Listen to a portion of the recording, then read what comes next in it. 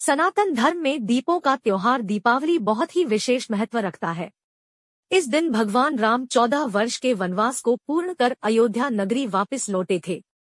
दीपावली के शुभ अवसर पर लक्ष्मी गणेश की पूजा प्रत्येक घर में ज़रूर की जाती है। इस दिन लोग लक्ष्मी गणेश की नई मूर्तियाँ लाते हैं और उनकी पूजा अर्चना करते हैं। लेकिन क्या आप जानते हैं कि लक्ष्मी पूजन के बाद इन मूर्तियों का क्या करना चाहिए? अगर नहीं जानते हैं तो कोई बात नहीं। इस वीडियो में हम आपको इसके बारे में सारी जानकारी दे रहे हैं। हर साल हम दिवाली पर अपने घर लक्ष्मी गणेश जी की नई मूर्ति खरीद कर लाते हैं और उनकी पूजा करते हैं। लेकिन पूजा करने के बाद समझ नहीं आता कि इन मूर्तियों का क्या करना चाहिए। गणेश लक्ष्मी की नई मूर्तियों को एक चौकी पर कपड़ा बिछाकर उनकी स्थापना करके पूजा करनी चाहिए। पुरानी मूर्तियों को पूजा वाले स्थान पर ही रहने दे।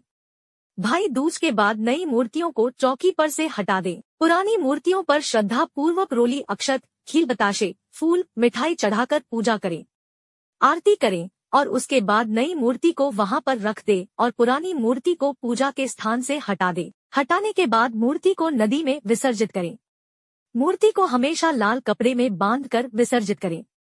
अगर आप विसर्जन करने नहीं जा पा रहे हैं या आसपास कोई नदी नहीं है तो घर में ही किसी बर्तन में पानी लेकर इनका विसर्जन कर दें। यदि लक्ष्मी गणेश की मूर्ति मिट्टी की बनी हुई है तो उसे लाल कपड़े में लपेटकर जल में विसर्जित कर देना चाहिए।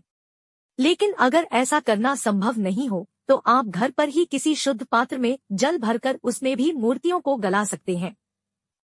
फिर उस पानी को गमले में डाल दें। सोने या चांदी की मूर्ति हो तो क्या करें? वहीं, अगर आपकी लक्ष्मी गणेश जी की मूर्ति चांदी, सोने या पीतल की बनी हुई हो तो ऐसे में दिवाली पूजन के बाद आप इस मूर्ति को गंगाजल से स्नान कराएँ।